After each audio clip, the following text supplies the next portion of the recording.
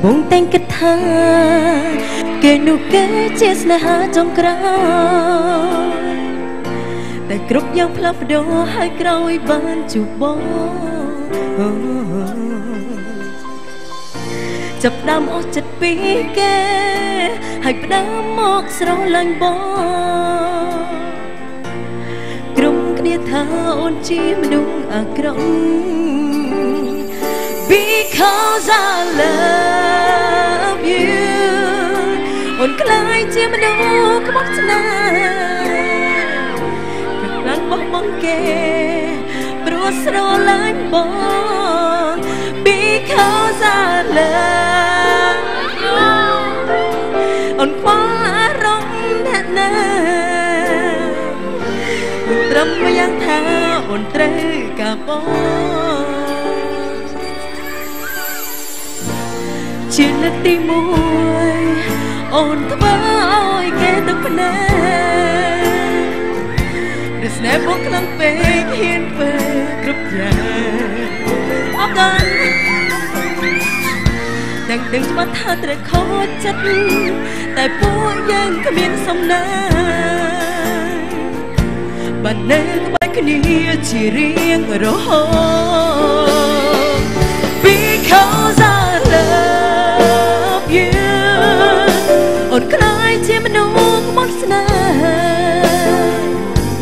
ក្លឹបបោះបង់គេព្រោះស្រឡាញ់បង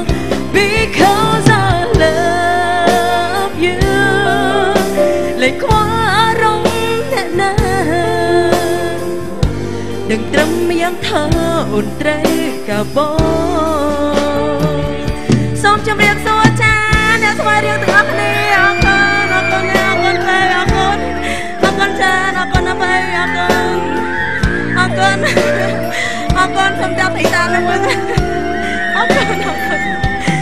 ច្រើនអរគុណ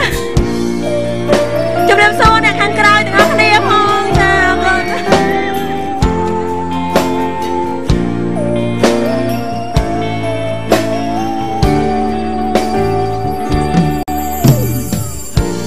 ជាលើកទី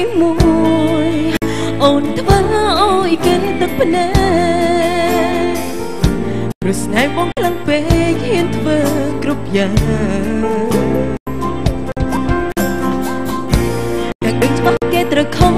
ត្តតែពួកយើងគ្មានសំណាបាននៅក្បែរគ្នា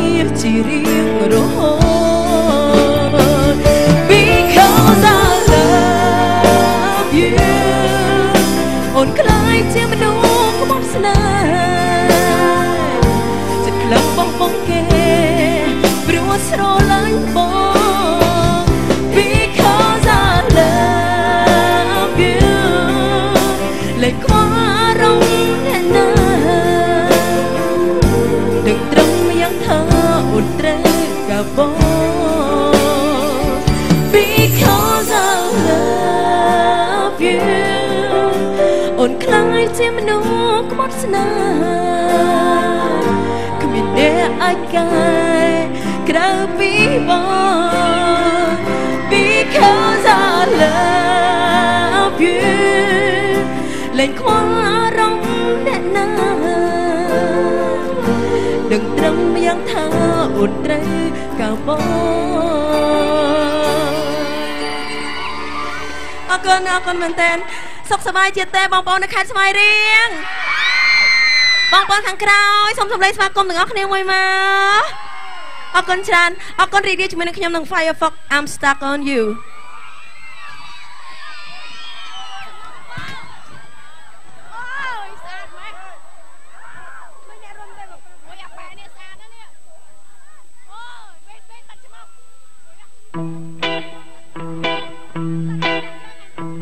អូ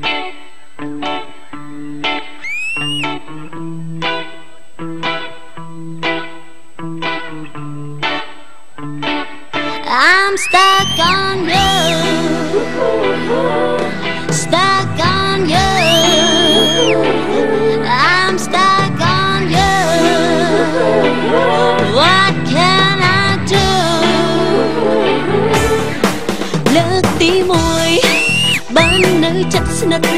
ធ្វើតាមចិត្តដែលត្រូវការនៅក្បែរបងអូនបាត់ឯកាកុំទៅណាទៀតបានទេអូននឹកបងខ្លាំងណាស់បេះដូងទីរំចាខ្លាចពេលលាបដូរផ្លាខ្លាចបងឈប់ស្នេហ៍អូ I'm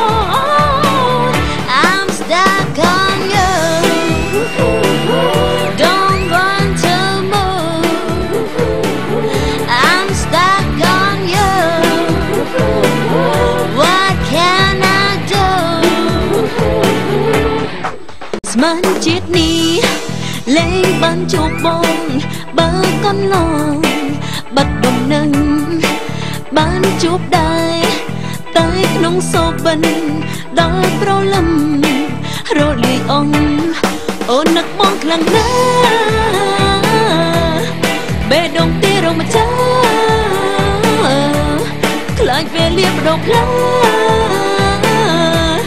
ខ្លាចបងឈប់ស្នេហ៍អូ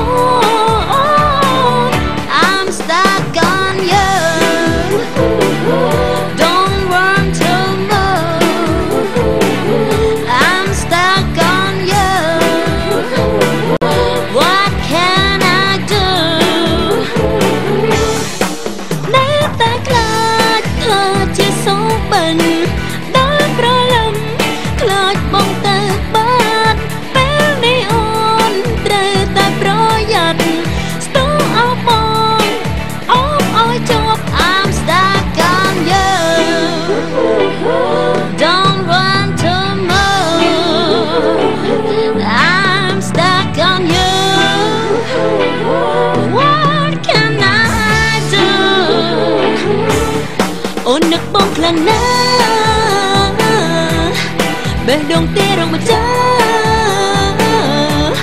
ខ្លាចពេលលៀនម្ដងផ្លាខ្លាចបងឈប់ស្នេហ៍អូ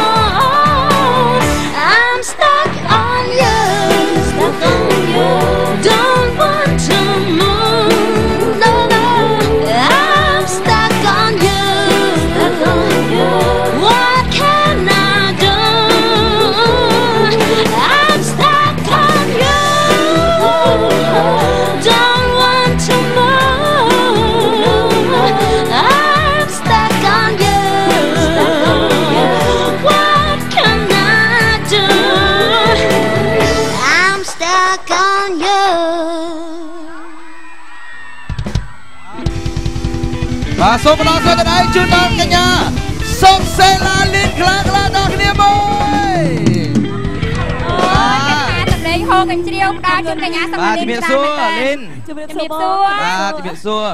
បាទកញ្ញាសុកសេឡាលីនស្អាតអត់ហមស្អាតទេ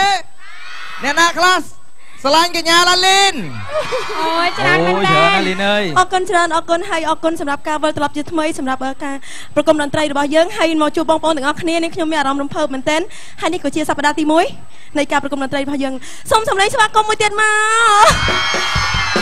អរគុណអញ្ចឹងបាទ យ៉ាងម៉េចដែរលីនពេលដែលចាប់ផ្ដើមនៅក្នុងសប្តាហ៍ទី1ដំបូងយើងមកដល់ខេត្តស្វាយរៀងហើយជាពិសេសគឺបងប្អូនយើងច្រើនកុះកមកទស្សនានៅក្នុងកម្មវិធីនេះហើយអ្វីដែលសំខាន់គឺគាត់គ្រប់គ្រងណាស់សិល្បៈគាត់ចូលរួមមានអារម្មណ៍យ៉ាងម៉េចដែរទៅទឹកចិត្តរបស់លីនអរគុណនិយាយទៅយើងមកដល់ម៉ោង5 6ហើយហើយនឹកឃើញថាពួកគាត់មើលទៅដូចអឺយប់ហ្នឹងមិនទាន់ដឹងថាម៉េចទេប៉ុន្តែ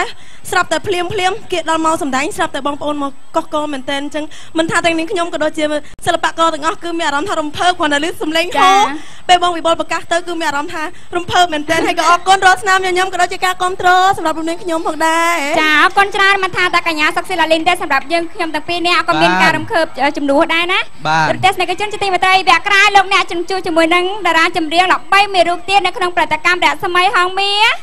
ចាប៉ុន្តែសូមរក្សាគណៈនេះពេលកម្មវិធីសូមពេលសម្រាប់បន្តិចសិន